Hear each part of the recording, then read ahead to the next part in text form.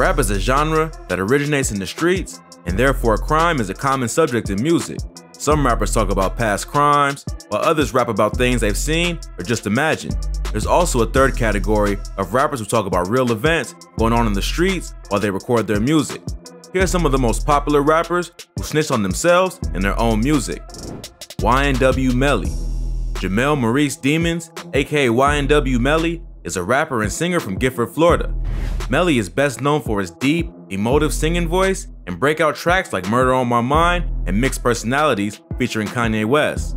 Melly's career was on fire and he was in a good position to become one of rap's biggest up and coming stars until he was arrested for a double murder in February 2019.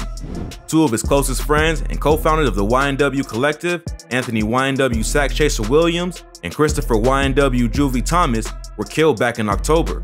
Melly and the fourth member of YNW, Portland Henry, also known as YNW Bortlen, originally claimed that the two were killed in a drive-by shooting. However, authorities claim that there is substantial evidence to prove Melly and Portland killed their friends and conspired to make it look like a random shooting. Melly has denied the accusations and has entered a not guilty plea. However, the case is yet to go to trial. After Melly was arrested, fans began to look back at his music for clues as to whether the artist is truly capable of murdering his childhood friends in cold blood, or if it is just a conspiracy to put a rising rapper behind bars. Fans have noticed shocking similarities between the lyrics to Murder on My Mind and the events that unfold in real life. The song was originally written in 2016 and released in 2017, and the crime he's accused of committing occurred in 2018, so it can't be a straight up confession. But the plot of the song and the events that unfolded have eerie similarities that show perhaps Melly was capable of such a crazy murder. In the song, Melly describes shooting a close friend and holding him in his arms as he bleeds out. In the song, Melly says, Yellow tape around his body, it's a fucking homicide. His face is on a t-shirt and his family traumatized. I didn't mean to shoot him, he just caught me by surprise. I reloaded my pistol, cocked it back and shot him twice. According to police, the killing of YNW Juvie and Sack Chaser was no accident. It was a premeditated murder.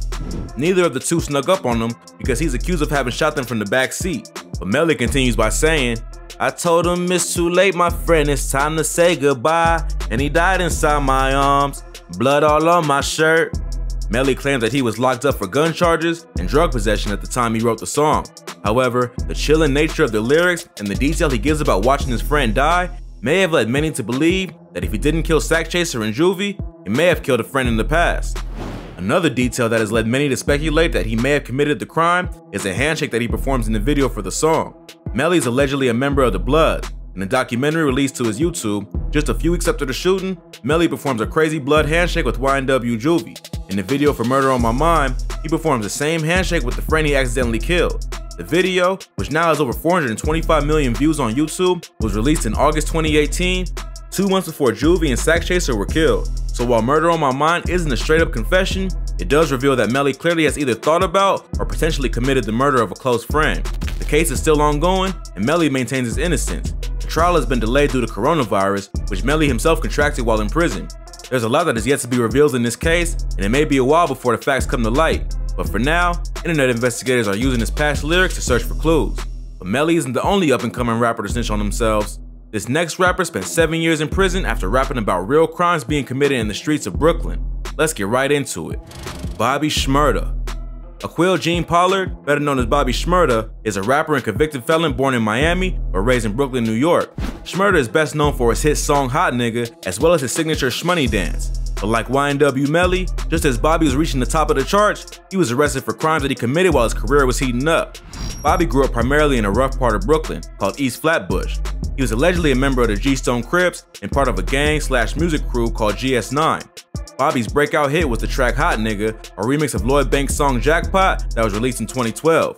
Bobby released the video in August 2014 and was arrested along with 14 others just a few months later for a slew of charges, including conspiracy to commit murder, reckless endangerment, and drug and gun possession. Bobby, what do you have to say to your fans? Bobby, anything? After a long legal battle, Bobby eventually accepted a plea deal for one count of third degree conspiracy and one count of weapons possession.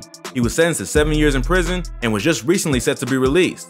Although the lyrics to his song were not direct evidence used against him in court, the song did allow police to string together a case that GS9 was more than a music crew and was a violent street gang. Here's a look at some of the lyrics that got Bobby hemmed up. In the song Hot Nigga, Bobby raps, On Truey on some hot nigga, like I talked to Shiesty when I shot niggas. Shiesty was Bobby's childhood friend who was gunned down by a rival gang called Brooklyn's Most Wanted, or BMW, in 2011. This led to a violent beef between the G-Stone Crips and the BMWs. Police used this line to prove that Bobby was involved in the conflict. Bobby continues by saying, and Monte keep it on him, he didn't drop niggas. Nicholas Monte McCoy was one of the members of GS9 who was arrested along with Bobby, and police used this line to prove his affiliation with the gang.